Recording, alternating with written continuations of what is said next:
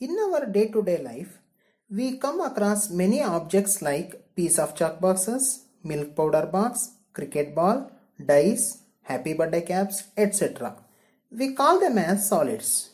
Solids are three-dimensional figures means they have width, length and height.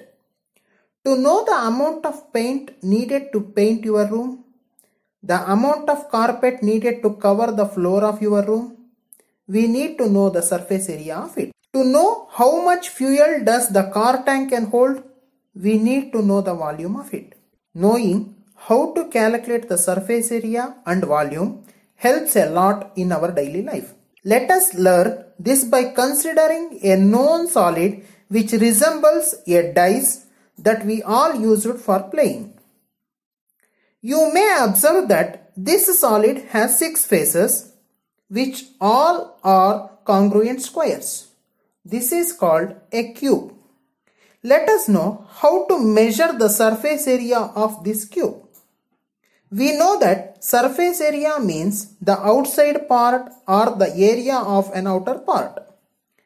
If we add the area of all the surfaces, we get the surface area of this cube. Here, each face is a square and its area is calculated by side into side that is side square which can also be written as a square. Here a is the length of each side. Since all are congruent squares, if we add a square 6 times gives the total surface area of this cube and the unit of measurement of this is square units. Observe as the length changes the area also changes.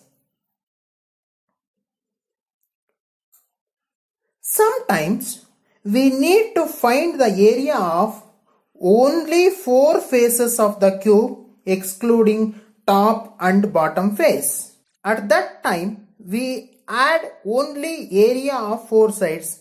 This is called the lateral surface area of the cube that is 4a square and the unit of measurement is square units. As the length changes, the area also changes. One more measurement of cube is volume. The amount of space that is enclosed within a solid or the amount of space occupied by a solid is called volume of that solid. Here you may observe that this can be calculated by multiplying the area of base with its height.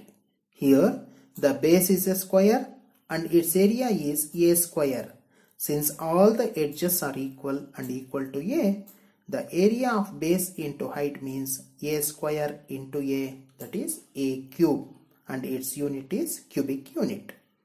By this we learn how to calculate TSA, LSA and volume of a cube.